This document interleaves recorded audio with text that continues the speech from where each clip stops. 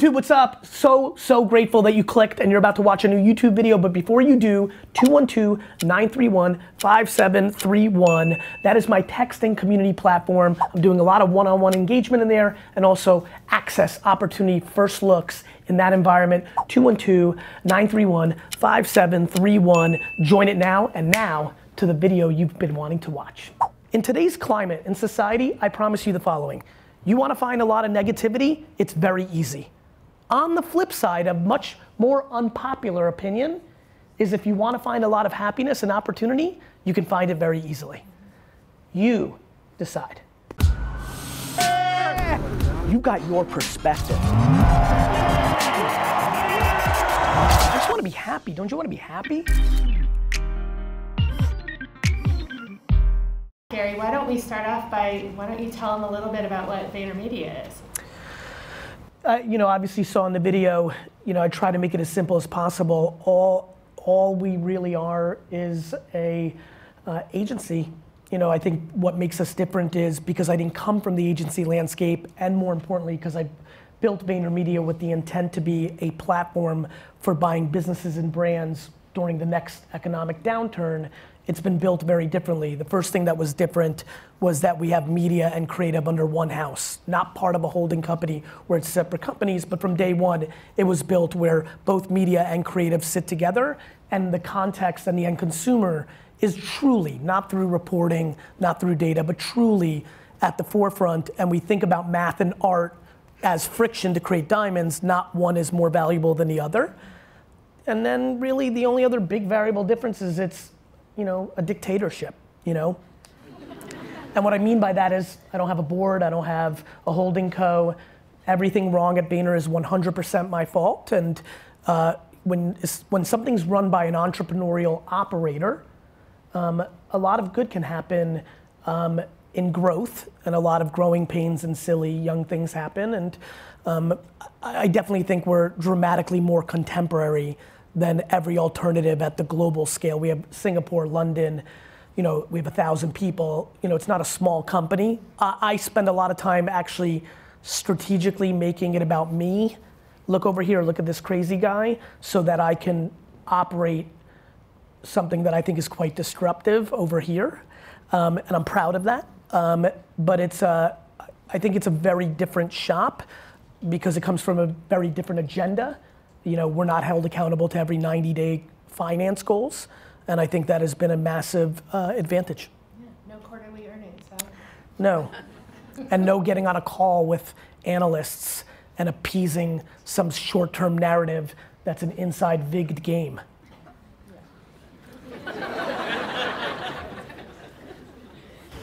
I remember a meeting that we had at one point where you came to us and said, you know, you would bring new channels to us, for example, and when Pinterest, and you talked to us about Pinterest, and one time you came and you said you guys got to figure out Snapchat. You've got to be on Snapchat. It's the future, and at that point, it was just something that my that my kids did, and I and I couldn't figure it out. What what's what's next, and what's new in that space that we should be at?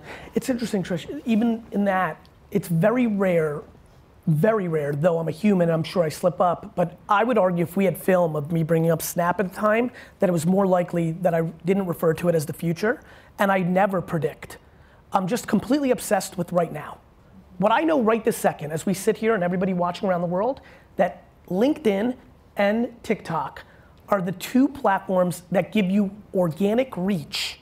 If you do not pay media, if you're a nobody, and you post on either one of those two platforms, something great can happen that cannot happen outside of a miracle 0.00001% chance on Facebook, Twitter, Instagram, and YouTube. Those things always fascinate me because I love underpriced real estate. You know, if I came to somebody 25 years ago and said, there's an island called Turks and Caicos, and I genuinely believe more people will go to it over the next 25 years, and we bought up property, everybody would be happy. So I spend all my time on two core things. One, underpriced organic reach, which often is more at a small entrepreneurial SMB level. At the corporate level, they're important because I want companies to get the reps of understanding the nuances that are making this platform pop. And understanding LinkedIn today is very different than all of us understanding it four years ago. It's a completely different beast. LinkedIn today acts much more like Facebook did six years ago than it does with the LinkedIn that we all grew up using, which was a tool, not a content platform. Um, the things I'm learning on TikTok now will matter because those are getting instilled into 12 and 19 year olds right now, and those will become nuances that quite matter in communication in three, five, seven, nine years. Obviously, Chase is less likely to be obsessed with understanding TikTok in comparison to Vans or in comparison to Mattel, right? So you, you think about all those things, but I don't know what's next. What I do know is that I'm incredibly good at understanding as a human, subjectively, intuitively, of what seems to be current, and then I put a ton of discipline and work ethic and dollars and effort into proving those hypotheses to be true or false. So, shifting a little, Seems if we think about, since it's in the news, Okay? interested in your thoughts on Twitter's recent announcement about banning political ads without getting political in our discussion, but I think the platforms are making a ridiculously, uh, first of all, I think it's smart. I think that platforms' revenue from political ads is not significant enough in return for what the headlining and positioning means to it and all the vulnerabilities of. He- we are in a fully on tilt headline reading society. The amount of opinions in this room, from the two of us to everybody in this room to everybody who's watching, where we have deep convictions and thoughts predicated on one or two headlines, is laughable. Um, so, A, I think it was a smart move by Jack. I think it helps Twitter. But I think that they, the platforms, have done an incredibly bad job in distinguishing what a platform is. People are way on tilt on believing that they're manipulating something. I mean, Mark's opportunity when AOC asks him, like, will you police this truth, is easily rebutted with, can we have CNN and Fox do that too? Like we are, we're at a very funny place where we ask modern technologies to do things that we don't hold traditional technologies accountable for. So great, but I think in the macro they're doing a poor job. I would, I'm very curious what the variable difference is between not fact checking an ad in a Facebook feed versus not checking a fact coming out of a news anchor's mouth on a news platform. well, let me push back just Please, a bit. please. So, I love pushing back a bit. so we do a lot of work right now looking at the impact of bots Okay? um, on escalating news on social media in a way that if you just saw an article in the New York Times that it might not move at the same pace. And how how do you see bots impacting the spread of news and the spread of fake news, for example? I don't view technology any different than I look at humans. This is one big game of communication. Do we have data that shows what Carson Tucker or Don Lemon mean when they say something? That's my pushback. My pushback is when are we going to hold ourselves accountable for the information? You know, like, you know, whether a bot is run to run more ads or more potential awareness against a headline, or a newscaster uses an adjective in a way that pushes that information, I genuinely do not see the variable difference to the end consumer. I would argue people are hearing what they want to hear. Right. Like, I don't know, I see plenty of things coming on Facebook and CNN and Fox and Twitter that I'm a big enough boy to decipher what I want to believe or tend to believe or I'm curious about. This notion that we're so helpless that the second that we see something, we believe it to be true, I think it's the reverse. I think we're justifying what we want to be true through the propaganda. So how should we then consume news as an educated consumer and be discerning and by putting in the work. You know how many people here are going to be keyboard warriors about politics and not even register to vote? right? How should we do it? The same way we do everything. Remember when you blindly believed everything out of your parents' mouth? You grew up. It's time we do that with media.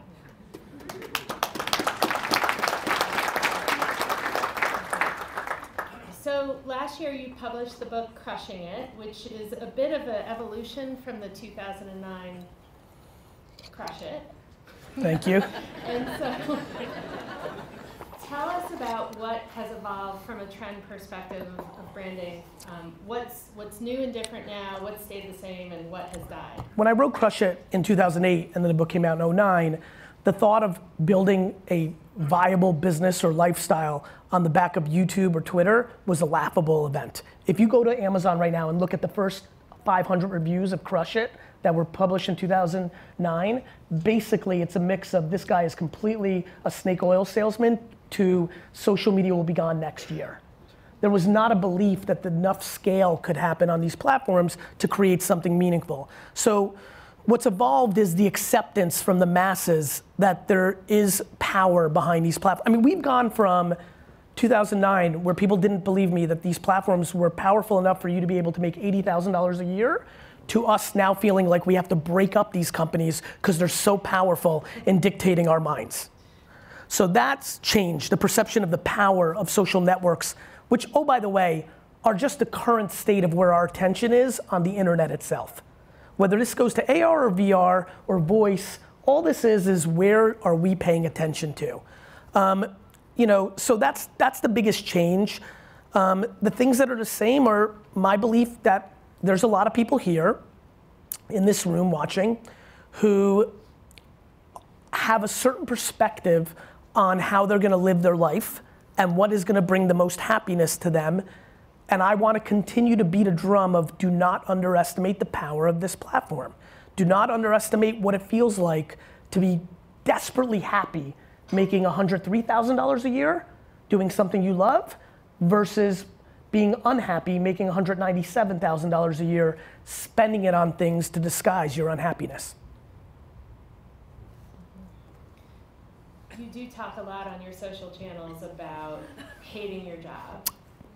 And while obviously everyone here loves huh.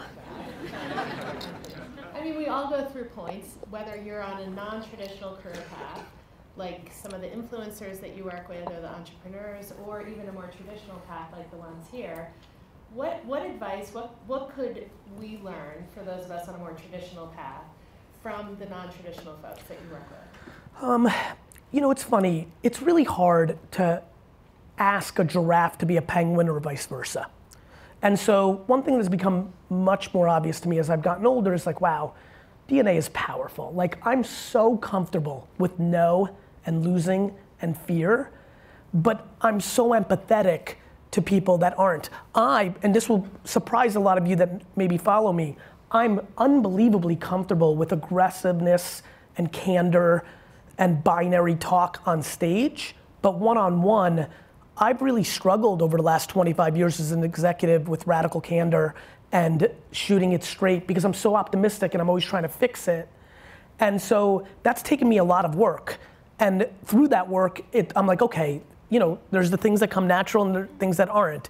If you grew up in a framework with parents or customs that really desperately overvalue outside affirmation, the opinions of your parents' parents or siblings, because you come from, a, let's call it what it is, an immigrant background where there's a huge commonality there.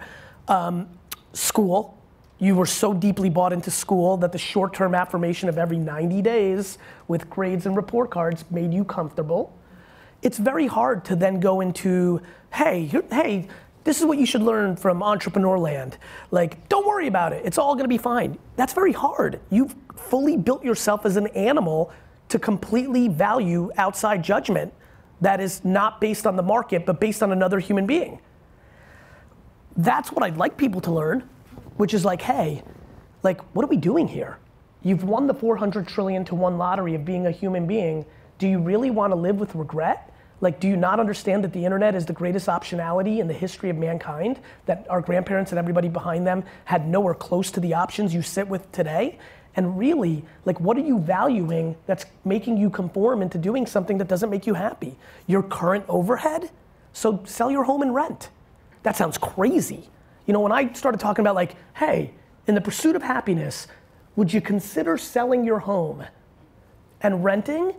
I mean, I got destroyed in the comments sections and, and other places, like, like that I'm some horrible person. I'm like, how is living your life to pay the bills that you've created for yourself? That's all humans, all that humans do are create their own jails and then live within it. That's all we do. So, so knowing that that's very hard in a human way, the situation you have with your parents, all that stuff, the professional one feels like I have a prayer of communicating that and letting people. And here's my point if you want to be a professional skier or if you want to start a, a blog or podcast around cooking, my big thing is if you jump and start swimming, you know, this is riding a bike, kissing a boy or girl, or, or, or you know, swimming. This is, it seems super scary until you do it, and then you just laugh about why it felt so scary. Like, if you go do that thing and live more humble, live with judgment, you could always get a job again. Like, I don't know, like, I just, my great fear is regret. Because it is the obvious thing I see in people that are 80 to 100 years old that seems super scary. Nobody was thrilled that they played it safe. It just, you don't see it. And I think people should spend more time with 80 to 100 year olds that aren't their grandparents. I mean it. I mean it. I think people need context on life a little bit. I think people have a horrible relationship with time. Do you know how many people in this room are scared shitless of 30? Like it's some thing, like it means nothing. But our society has decided to tell you that you have to figure it out and married and children and what are you talking about? 98% of the 59 year olds I know don't have it figured out. The hell are we supposed to have it all figured out at 30, 25? Like people are making terrible decisions getting married because they think they're supposed to by this age. You know, like buying homes because they think they're supposed, like the rules of modern society uh, have led to, everybody wants to blame technology, you know, and drug companies for, you know, all our problems. We need to blame our norms, our expectations, our ridiculous North Stars that have make no sense. We're living, when I look at this young of a crowd, they're living to 110.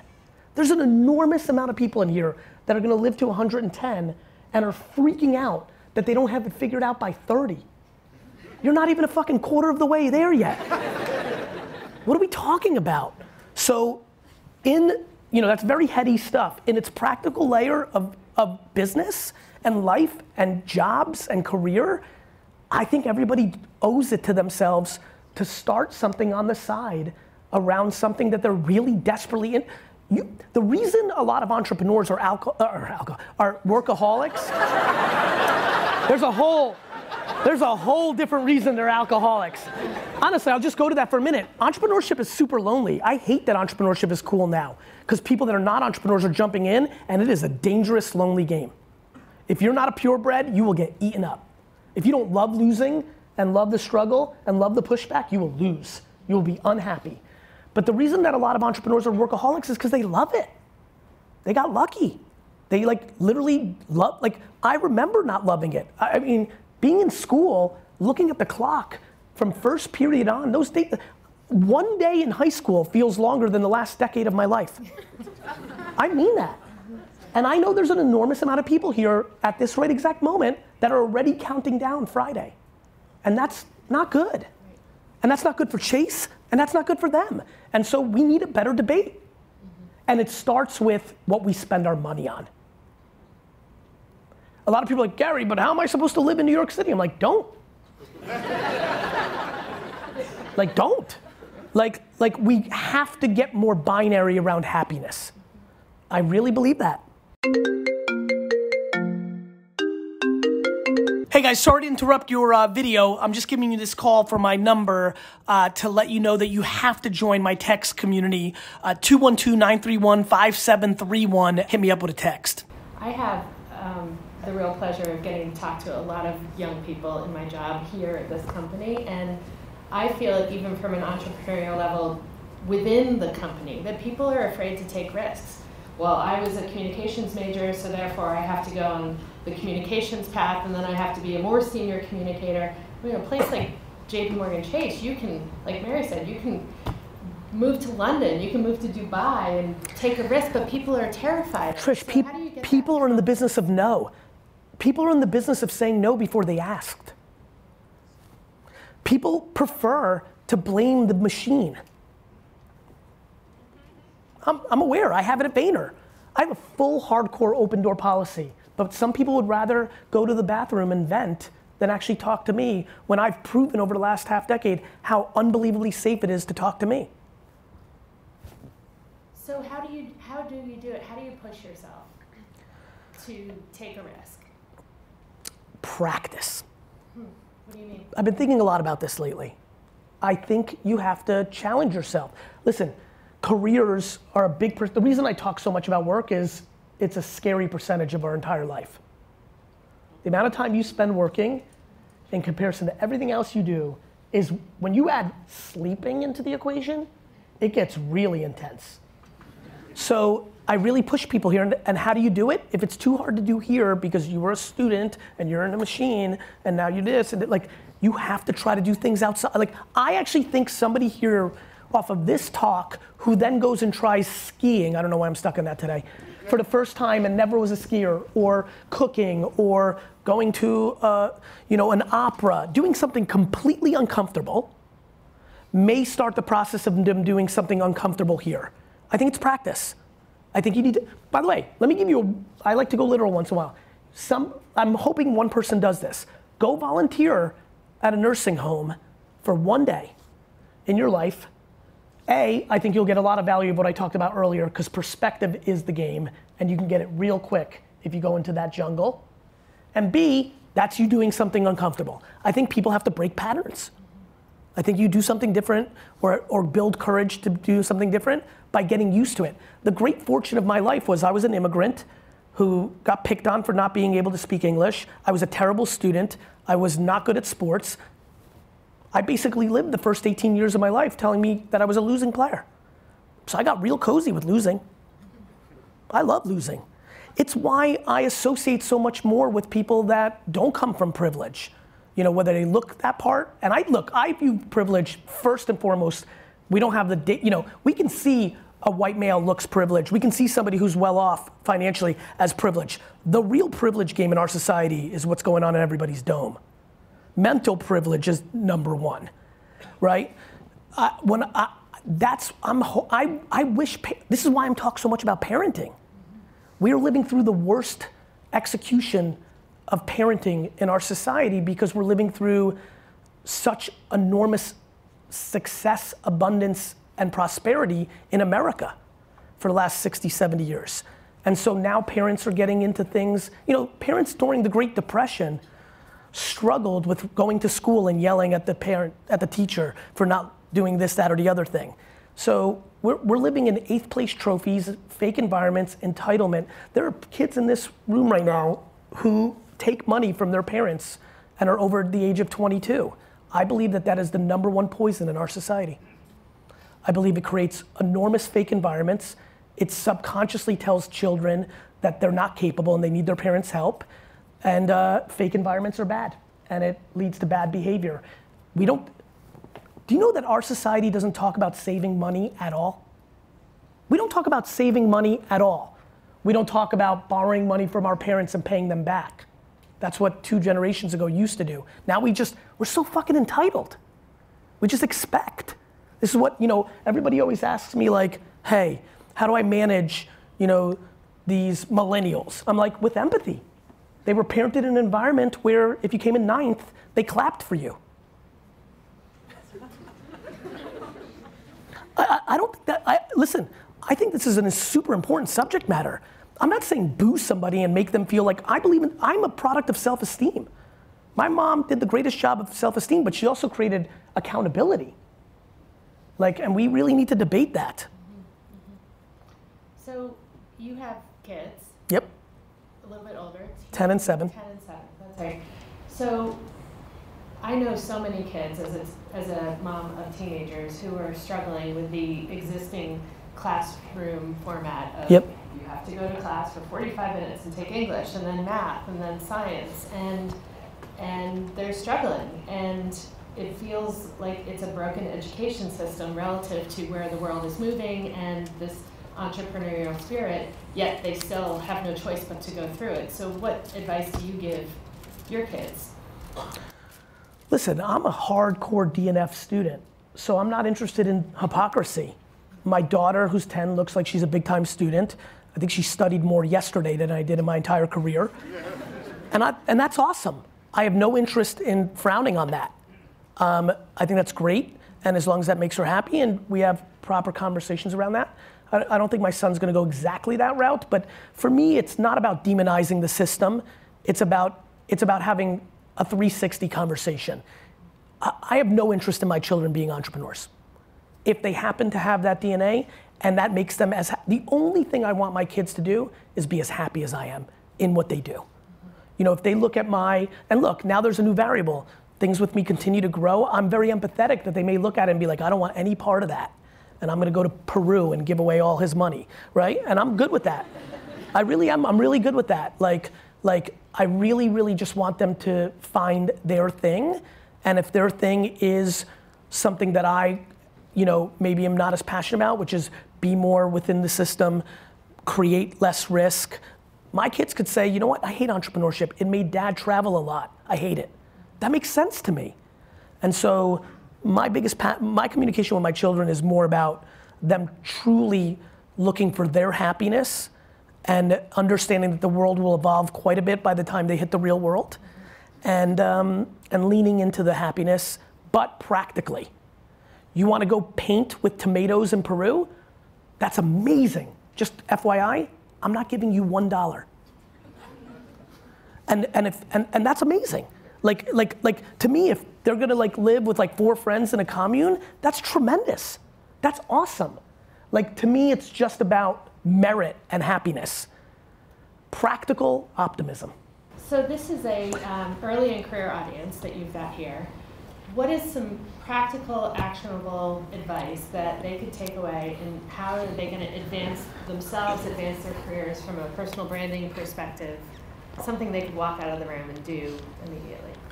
So my number number one thing that I think may be very unique and couldn't be more passionate in delivering to this audience is the following. I really highly recommend that you die on your own sword. Let me explain what I mean by that. Every day, a lot of you are in meetings where things are being talked about that you may have some insights, opinions, and actual knowledge about, and you are not communicating an opposing view because you know that it won't be accepted by the managers above you, and you think it's a vulnerability by communicating it. And I think it's the reverse. I think there's an incredibly soft and respectful way for you to create a data point to the conversation. And that I believe this is what I see a lot happening, where people don't say anything because they're appeasing how to move up manager to manager, manager. The world actually changes, and then the company resets and the executive by not saying something gets viewed upon as that was their point of view and they get hurt by pandering to the machine versus by being historically correct in the room when all those executives either grow within the organization or disperse to other organizations, they become an interesting prospect to bring along because they were historically correct. I'm giving advice that I take as an entrepreneur.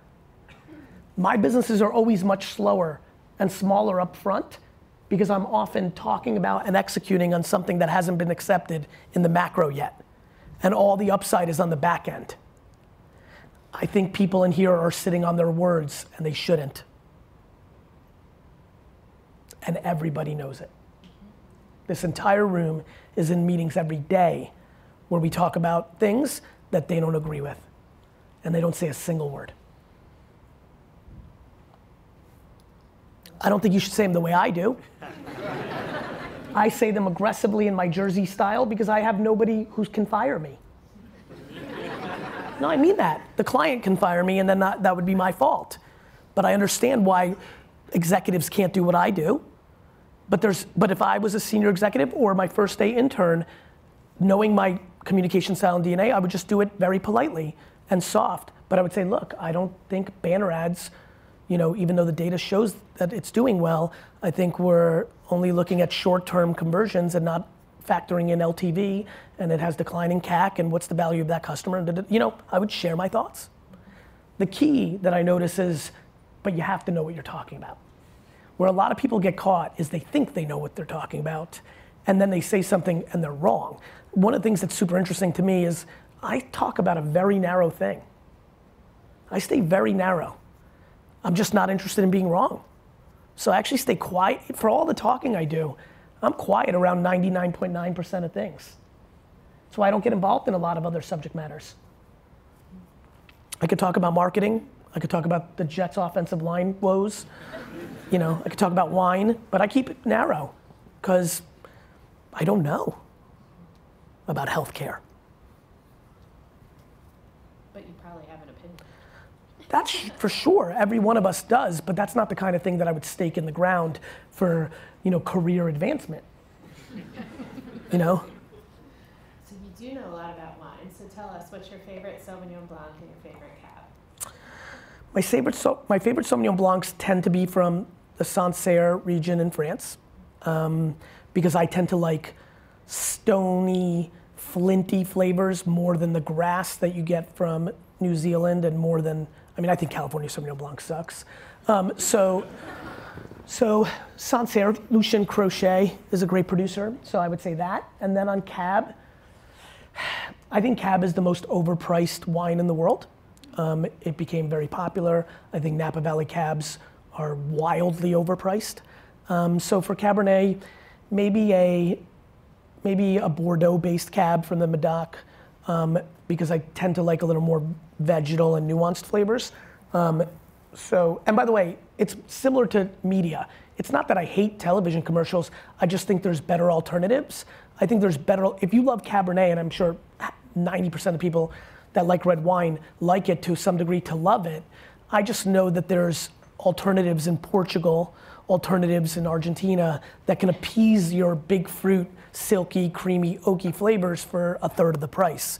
It's never about anything other than arbitrage for me. So it's not that Napa Cab suck or Cabernet sucks, it's that you're paying for the brand of Napa Cab and you're not educated to know that you can get that fulfillment from the Priorat in Spain.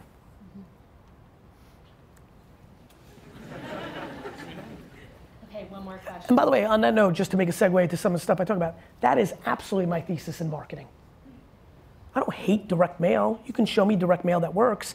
I just don't know if you've perfectly executed one mile radius Facebook ads with contextual creative to the person that's seeing it. That's all. How did your wine business lead to VaynerMedia? That. Yeah.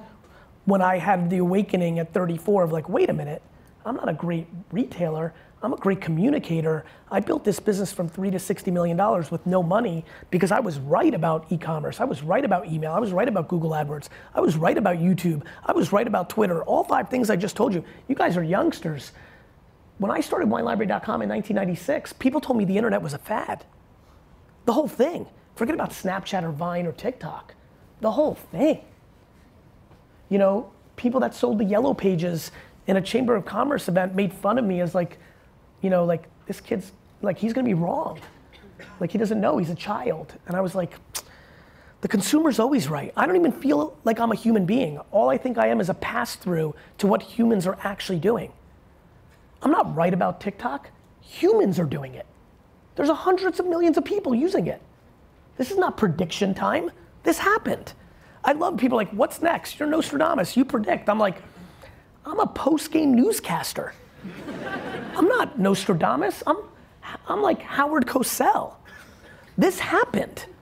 Podcasting happened. He was a newscaster. Yeah. LinkedIn happened.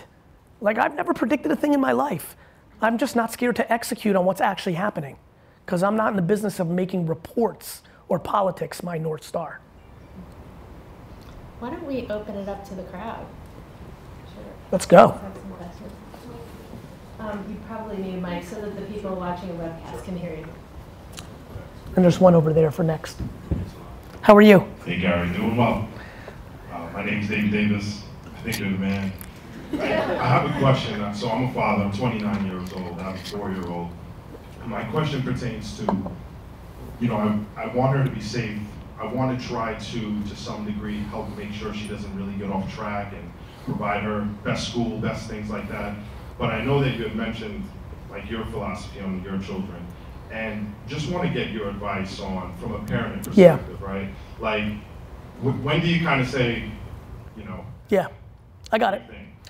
Look, first of all, my interest in giving any specific person parenting advice is 0.0. I think I think everybody needs to parent the way they decide to parent. I like communicating the alternatives to what I think is being accepted, especially no different than TikTok happened. I, I Gary Vaynerchuk, get over a thousand DMs a week on Instagram from kids that are deeply resentful of their parents for over manipulating their lives.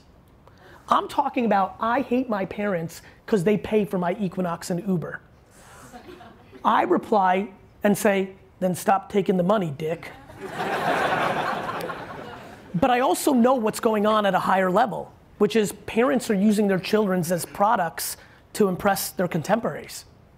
The reason parents pay is not necessarily because they want to help the kid, it's they want their friend, their sister, their, their parents, or others to think little Johnny and Sally are successful. So you need to do you, but let me say this. I don't understand why people can't remember them being kids. Like, I love parents that are like, I restrict my kids' time on their phone. I'm like, they've seen porn. you know, like, like this notion that like we can control life is laughable. And more importantly, we're giving indicators into kids that we don't trust them, which creates self-doubt, which really leads to a lot of unhappiness. So look, you get to pick your North Star. My North Star is self-esteem and accountability and happiness. Not Harvard, not entrepreneurship, not winning, you know, that. I want them to be happy, big time. I want them to be accountable. If, you know, I'll never forget, I struck out four, I was a really good baseball player in third and fourth grade before talent kicked in. And this one kid, John Longo, was a real pitcher, big fat Italian kid, if you're watching, John. Um, and because he was so big, he could throw gas, and he just overpowered me, and I went 0 for 4 and struck out four times, which was unheard of because I was really at like my apex then. And I just remember my mom coming in, and I came in and started looking for excuses like, I should have batted fourth today, it was sunny. She was like, You struck out four times. Meanwhile, this was the woman who, when I opened the door for an elderly woman at McDonald's once, treated it as a Nobel Prize winning award behavior. So she created enormous self esteem, but not delusion. Right? This, whole, listen, if you're five foot four and your parents are telling you, yes, you can go to the NBA, Abraham, that's fine. that's fine. But it needs to be added with, and you will be one of the only three people in the history of the sport. And oh, by the way, Muggsy Bogues and Spud Webb could do all these other things that you are showing that you cannot. we are, we are like this, you can be anything delusion is what's leading to a lot of resentment and pushback. And so I would just tell you that delusion, and more importantly, what you put on a North Star today will change. I mean, look, college is under siege. There's gonna be seven or eight colleges with enough brand equity in 15 years to maintain their spot, but the rest of them are in real trouble. I'm 43 and I was making $5,000 a weekend selling baseball cards as a 12, 13, 14 year old and was considered a loser. Today, I'm in the Wall Street Journal because entrepreneurship is cool. Back then, if you didn't go to a great college, you had no chance of happiness or success. By the time your kid in 14 years enters the time to go into school or in 18 years comes out of it, I have a funny feeling the rules will be different. So keep that in mind.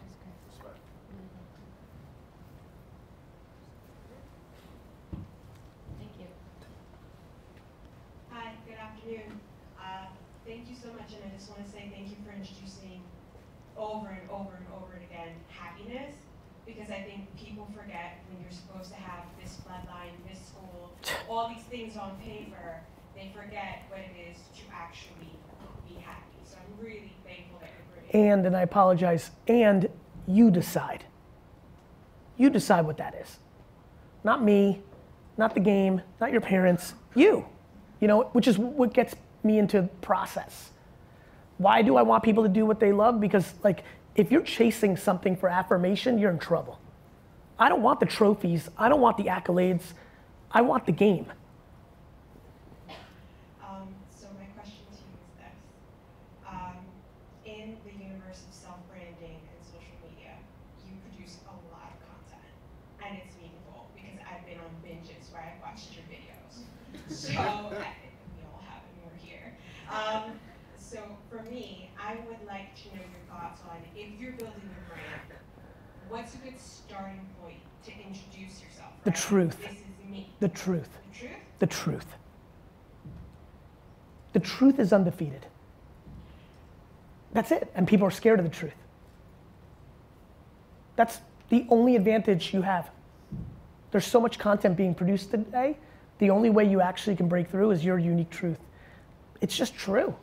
There's just a volume of creative and consumption that we've never seen before. So that to build, you've got to lean into your uniqueness. My truth of baseball cards and flea marketing and root beer and the Jets and wine, those are the unique things that make me feel a little bit different than others. It's also a lot easier to produce content when you don't have to think. My friends, it's a lot easier to produce content when you don't have to think. Document, don't create. That's right. And the reason I brought up document and don't create is I'm not scared of my truth, my strengths, my weaknesses. It's not fun when you're actively the CEO of a thousand person company to actively always constantly talk about struggling with radical candor, knowing your employee sees that and then they're sitting in front of you and you're dancing around. They're like, you know, like they, you know, like, uh, you know, the last scene of Eminem. Eight Mile, last scene, most important scene in, mu- in movie history. I believe it. I believe it. In that battle rap, by him exposing himself, he left nothing for the opposing party. The most unhappiness you will ever have is the secrets you're hiding because you don't want anybody to have that leverage. Once you let it go, you become fundamentally unstoppable. Thank you so much. You're welcome.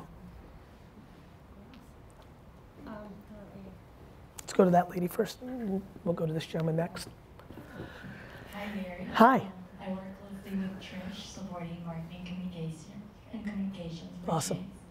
Um, I'm a huge fan Thank of you. the Resy Restaurant app. Yes. I know you're one of the founders. I am. Um, so I'm just interested in understanding better how do you decide um, which company you want to invest in, um, support, and how do you decide which industry you want to get into? I know you work with wine, restaurants, media, um, social media, so just I want to learn a little bit more about that. Thank you. So it, it's really serendipity. Um, I started a fund uh, in, in, at the same time that my friend Ben Leventhal was just leaving his current gig. We had dinner one night, and he's like, I have good news. Eater just got sold to Vox. Like, I'm like, I have good news. I'm starting a fund. We're like, maybe we should do something together. And literally during that dinner, we were like, you know, maybe what Uber did for taxis, we can do for the supply and demand of restaurant seats. And that was our opening thesis, which was why don't restaurant seats sell like airlines more than just like the same price? There was no supply and demand metric. Ultimately, that's not what Resy became. What we learned after 24 months was OpenTable's not that good.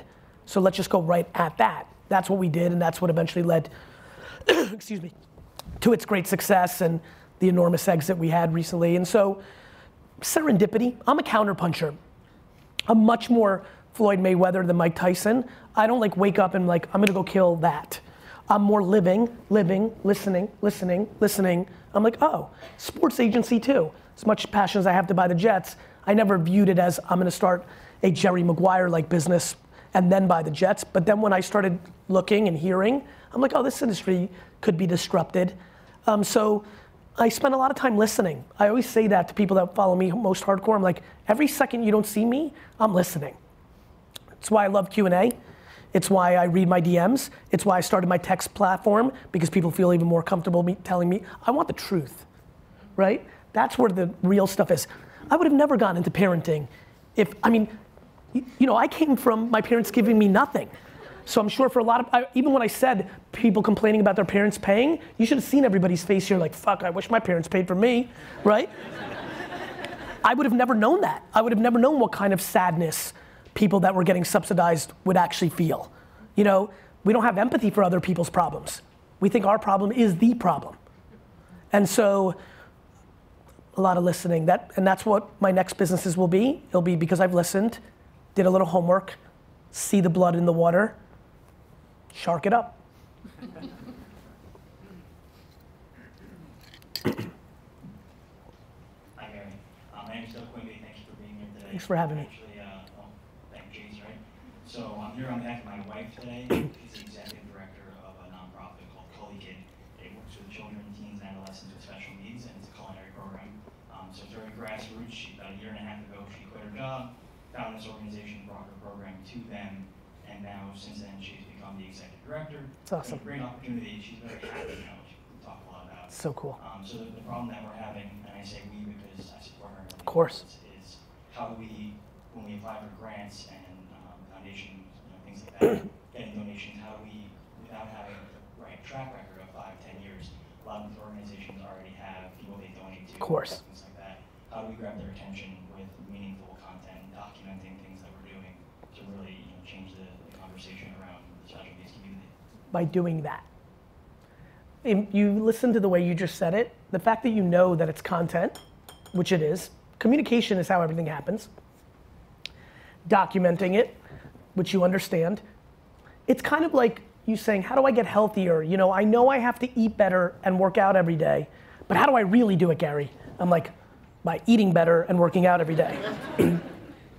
You're talking about a lack of patience no nonprofit that has no awareness and didn't exist should be getting an overflow of donations. That's not how it works. You need to put out content. You need to devalue the production value and upvalue the output. And that's it. Now, the tactics of do you run ads against high net worth individuals on the Upper West Side? Yes. You know, like you fish where the fish are, but it's just making content and making sure it's seen. Whether you have no money and have to go organic LinkedIn and TikTok, or whether you do have money and then all of a sudden Facebook, pre-roll YouTube, Instagram story, swipe up ads become your framework, that's the game. Rinse and repeat. Thank you. You're welcome. Who's got questions? There's two up, gentlemen up here. There's a young lady right there. Let's go right there. Called on her six. Well, you'll go to her next? Yeah. Awesome. It's you, bro. Yeah, congrats. Uh, Hey, How are you? I just wanted to thank you for being raw, real, and honest. I really appreciate that. That's why I follow you. Thank you. I need to hear it. Thank you. Um, so my name is Mike Zamano. I work in digital account opening. I just graduated from Seton Hall, Pirates. um, I'm in a lot of meetings every day. I mean, Yep. six to eight. Yes. day. And sometimes I'm not always the one that's effective in the meeting. It's like, do I need to be there? Yes. And sometimes I do get to run them. Now, when I run meetings, I see two ways that people do it. One is the productive track. They come in with an agenda, an idea, and why it's work. Yes. The second is the creative track. Yes. Trying to hear everyone's Yeah. ideas out. but it Yep. takes more time. Yes. So I was wondering, what is your favorite way to run a meeting? To make them way less long. But to answer your question, both. I think it's important to have a Swiss Army knife.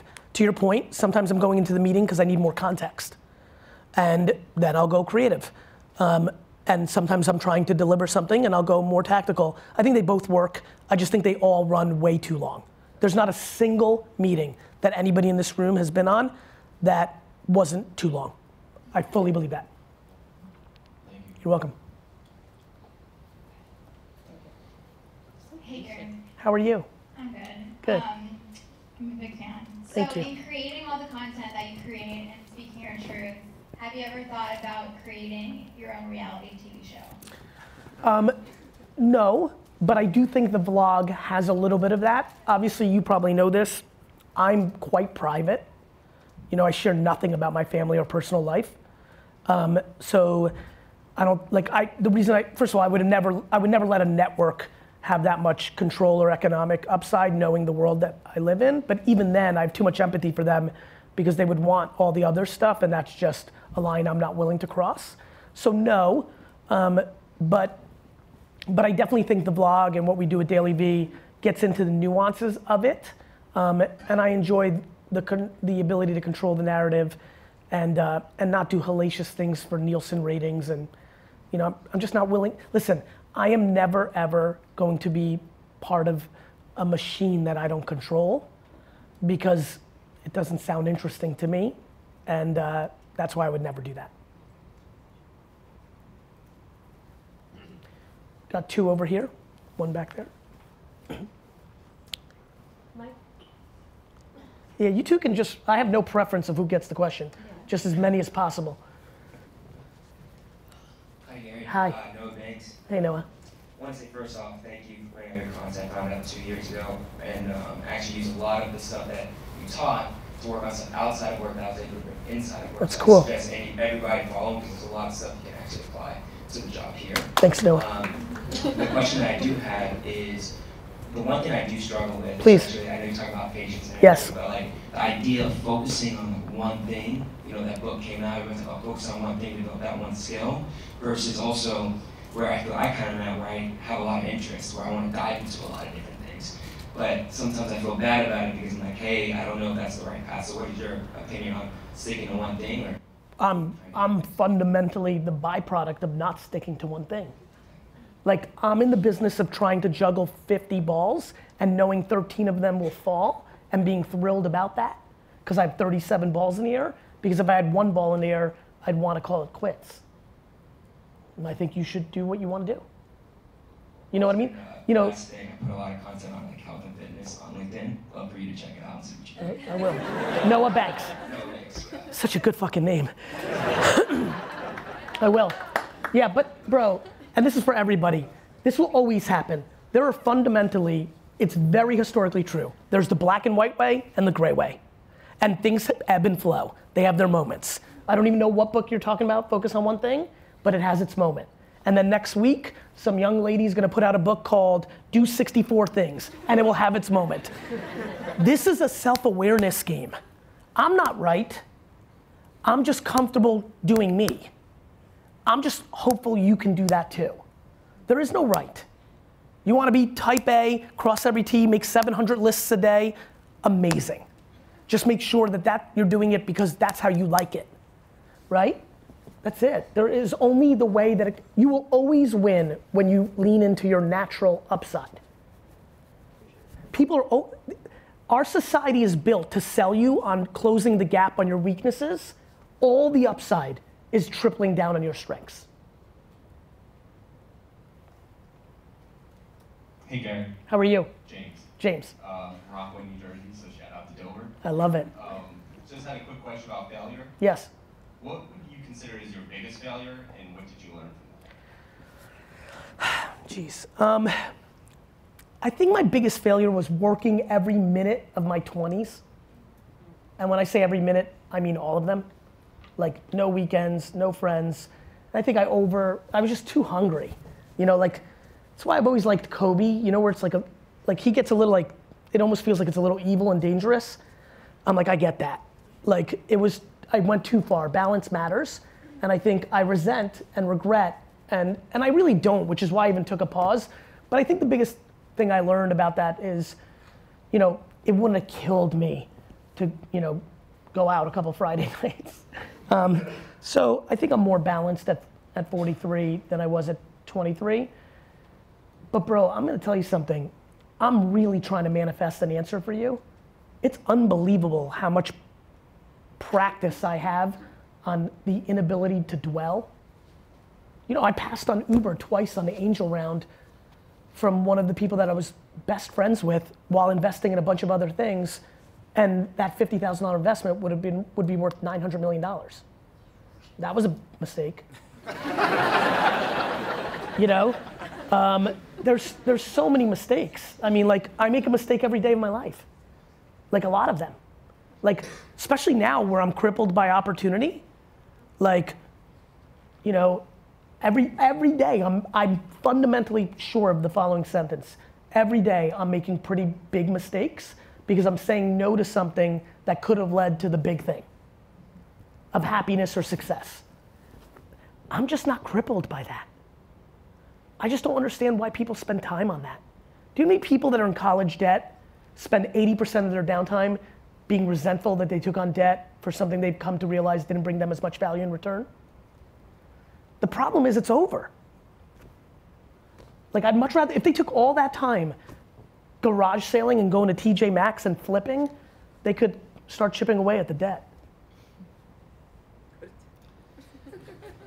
We have one, we have time TJ Maxx is loaded with arbitrage. It is. You go to TJ Maxx, spend $1,000, and make 4000 on eBay and Amazon every day of the week. But instead of making that $3,000 of putting in work, instead of watching Netflix or going to do something else, people would rather sit and complain why they pay. People would rather sit in a bar on a Friday afternoon, buy an $18 cocktail, and complain that they're in college debt than do what I just said. Today you sound very eloquent you're able to deliver on what you say, so curious to hear that. Nothing. I just lived. I, I actually think that's the answer. I believe that a lot of people overcorrect with tutoring. Make, I believe that humans, especially today, are making mountains out of molehills. Like, I'm sure my team that's here will tell you the company wide emails that I send or the things I run in Slack have no grammar structure whatsoever. I don't even think grammar structure is a word. Like, like, like, nothing, bro. You know why? I don't give a shit what they think of how I'm talking. There, there are people right now that didn't like that I cursed four times during this talk and decided not to hear everything I just talked about. I can't control that. I can't. And, and more importantly, I bring this up now in the meta because if you're one of those people on simulcast or in this room, if that's what you're deciding to focus on, there's a real problem. There's a real problem. In life, you find what you're looking for. In today's climate and society, I promise you the following. You want to find a lot of negativity? It's very easy.